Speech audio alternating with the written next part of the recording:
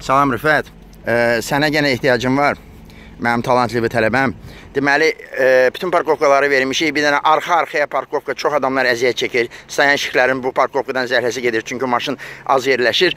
Əslində qanunda tabliçkalar yoxdursa, yəni ki, e, lövhəciklər yoxdursa, yolun qırağında yalnız paralel durmaq olar. Ona görə gəl bunu səndən izuçət eləyək də, yəni öyrənək. Xahiş edirəm, get bir dənə belə, e, nətər deyim, qanunla qəşəng get, dön, onca çəkəcəm. Ondan sonra gəl e, birinci öyrənək, ondan sonra elə bir ki, dövlət imtahanı verəcəksən. Başda qardaş, öyrətmişəm artıq.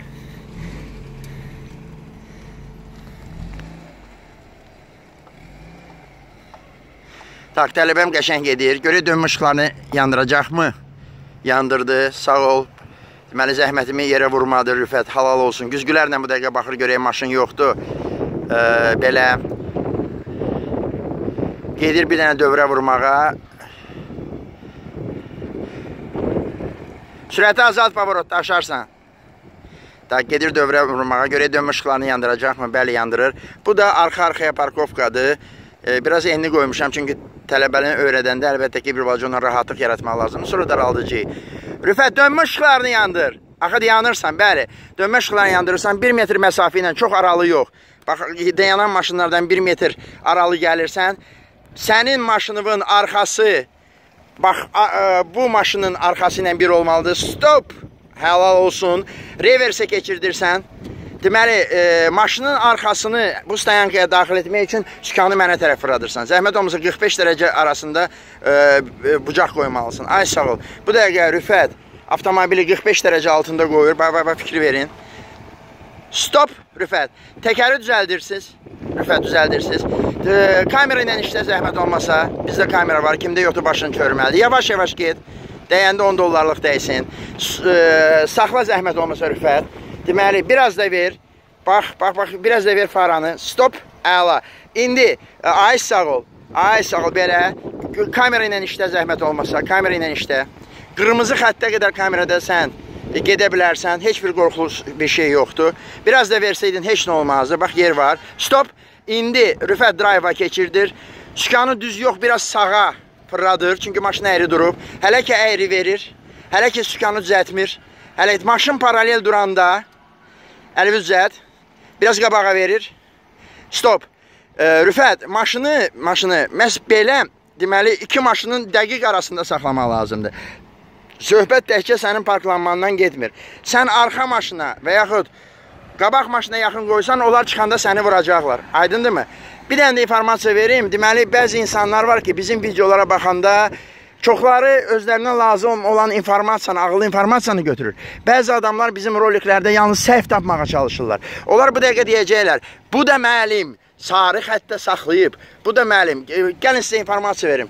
Yolun ortasındakı bu qırıq-qırıq informasiya heç qanunlarda yoxdur. Nədir, heç bilinmir. Bu bir.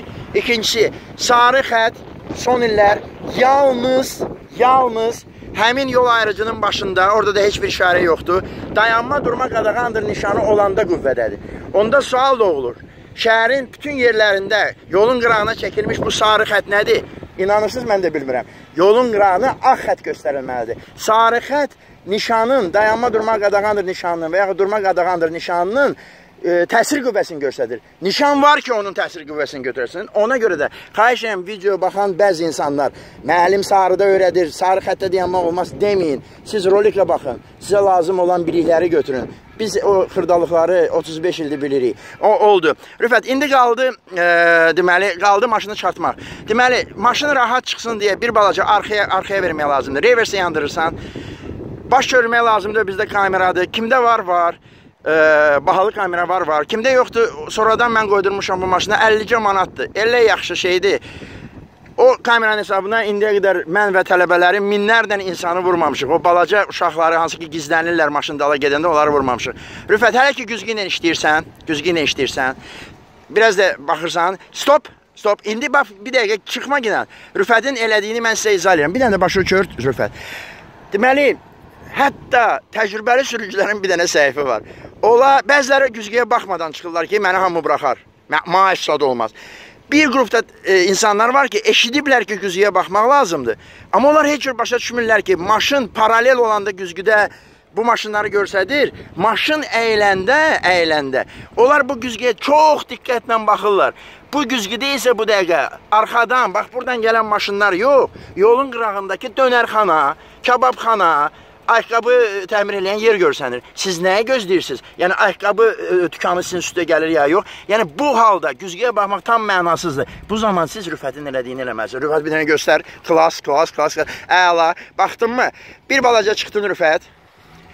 Stop. Biraz uzandı söhbət. Bir dəfə də başı uçur. Rüfət. Yoxdur ki. İndi dönmüş ışıqlarını sağa yandırırsan, sağdakı maşını vurmadan gedirsən, bir dənə qəşəng dönüb gəlirsən, e, ondan sonra biz səndən dövlət imtahanı verəcəyik. Sənə yaxşı yol Rüfət. Diqqətinizə görə sağ olun.